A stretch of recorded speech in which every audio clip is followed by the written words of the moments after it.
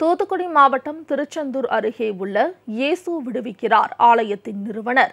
திரு. மோகன் சி. லாசரஸை அம்மா மக்கள் முன்னேற்ற கழக பொதுச் செயலாளர் திரு. டிடிவி தினகரன் சந்தித்து ஆசி பெற்றார். திருச்செந்தூர் அருகே நாலு மாவடியில் அமைந்துள்ள இயேசு விடுவிக்கிறார் ஆலயத்தில் அதன் நிறுவனர் திரு. மோகன் சி. லாசரஸை கழக பொதுச் செயலாளர் திரு. டிடிவி தினகரன் சந்தித்தார். இருவரும் ஜெபக்கூடத்தில் சிறிது நேரம் பிரார்த்தனை செய்தனர். திரு டிடிவி தினகரனுக்கு திரு மோகன் சி லாசரஸ் நினைவு பரிசு வழங்கி வாழ்த்து தெரிவித்தார்.